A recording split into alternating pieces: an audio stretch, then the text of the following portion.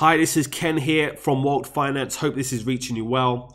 Today, we're going to go through a series um, of videos, tutorials in terms of how to be able to move funds, transfer funds over from Ethereum to Polygon, from Binance Smart Chain to Polygon, and then also from the exchange. So from Binance Exchange over to, to Polygon. So let's start with first and foremost from Ethereum over to Polygon.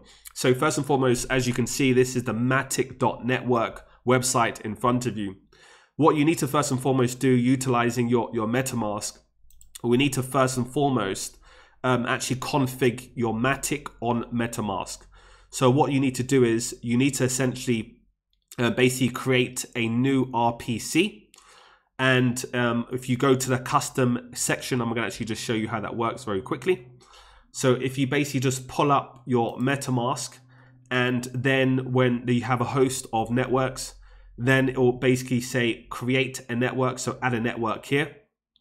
And then when you add a network, um, you can be able to then go down to, I've actually just pre-filled this already. And then you can be able to then go through the network name. So add Matic mainnet and then new RPC, the link, um, chain ID 137, currency symbol Matic, and then block explorer URL, uh, which is basically here. Um, to find this information, always go to the source. Yes, do not go to any other websites, any other links. Always go to the source. So this is actually the docs.matic.network files. You can find that. I'm actually going to add this into the description so you can be able to go through the process. Very clear, very concise, gives you a breakdown of how you do that. Um, and then basically once you've done this, you basically will then just add a uh, save, and this is essentially added to network. Then what you then need to do is you then need to actually create a web wallet. So it's a Matic Web Wallet V2 here. Um, I'm going to actually send you the link also. And basically, just before you get onto this, right now you can see I'm actually logged in.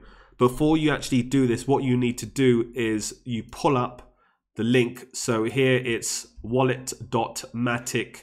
Um, this link here, I'm going to also add this in the description. Then when you click on MetaMask, you'll get a, a notification pop up generally on the right hand side where you can be able to then essentially sign in.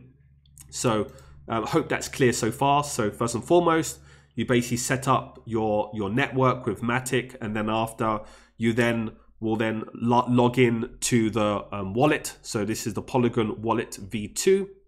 Then once you've done that, the third step would essentially be to move funds. So you have the option, this is your wallet. You can be able to receive funds here to this specific wallet. You can be able to send funds. Um, and basically you can be able to move funds to the Matic mainnet. Okay, makes sense? So we would like to move funds um, to Matic mainnet. So when you do click on that link, it will take you to this specific um, page and then you have the option of basically moving funds. There is also a section here, instruction manual, how it works, FAQ user guide. So spend your time to go through this if you have any questions or obviously reach out to us. And then what you want to do if you want to move funds from the Ethereum over to Matic. So right now I have 0.069 ETH. So let's say I wanted to be able to move point, which I actually did a few moments ago uh, 0.005, so it's about $12. Put Add the information here. And then if you're happy, you want to then switch. So when you switch, um, it will basically move this amount over to Matic Network. If I click on switch, then it says transfer. Um, here it says, please enter a valid amount. So let's just make sure this is correct. 0.005 here. And then, uh, sorry, so let's just do this again, 0.0005. And then here from ETH over to Matic Network and its transfer. So click on transfer. And then here, what's supported. And then you'll click on just go through this information. It generally takes about seven to eight minutes um, for, for actually to go through. And then if you're happy, click on continue. And then that information, you click also continue to go through. So I did that previously, and basically there was a movement of this amount over to uh, to my Matic. So you can see there's twelve dollars fifty four cents at the moment. I can actually withdraw that. I can send it to another wallet. I can be able to deposit more. If you deposit more, it goes back to the previous page. Makes sense.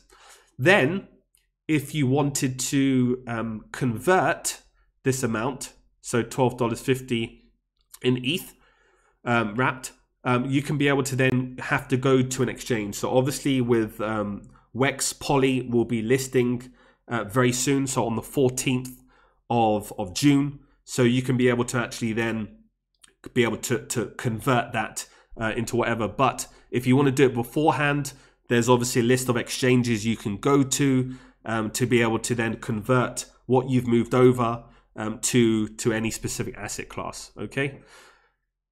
So um, if you then you can be able to just go down, you can scroll down and just see what you have in terms of activity. And then I think we've more or less covered everything regarding that aspect.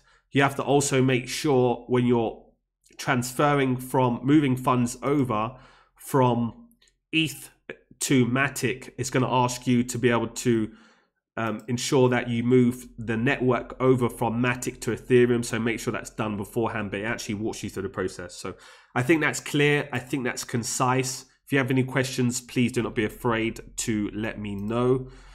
And I will see you for the next tutorial.